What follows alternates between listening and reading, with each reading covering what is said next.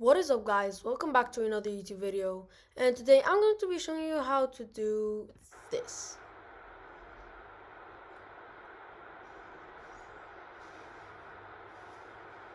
Yeah, looks pretty cool.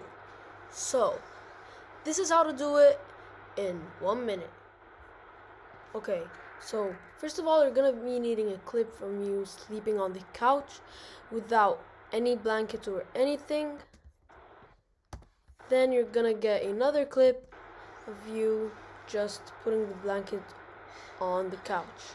So once you've done that, you're gonna get the draw mask just right here. All you're gonna do is just press here and then search draw mask. Gonna drag it and put it on the top clip, just like that.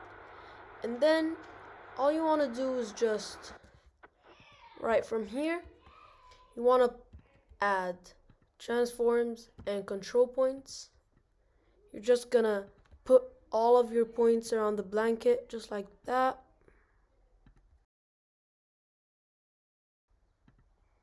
Okay, then you're gonna press invert mask. So you're gonna keep moving frame by frame. You're gonna go to where you start flipping the blanket. So once you went here, you want to move frame by frame once I do that.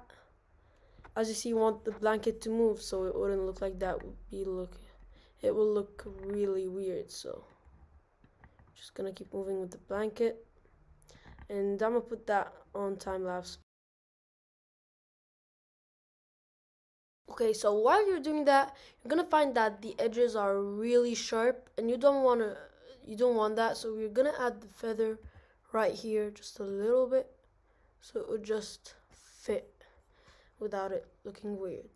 So now we're to keep on moving frame by frame.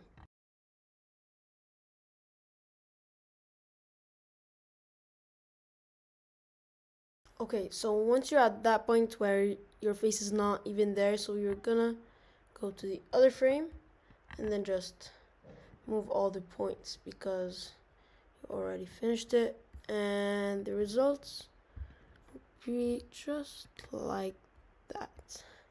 Now if you play the video, we'll start like that.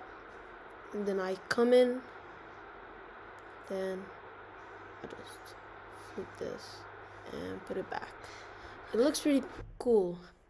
So that's the end of the video guys. And if you like that video, don't forget to subscribe and watch another video. And I'll see you again soon. Peace.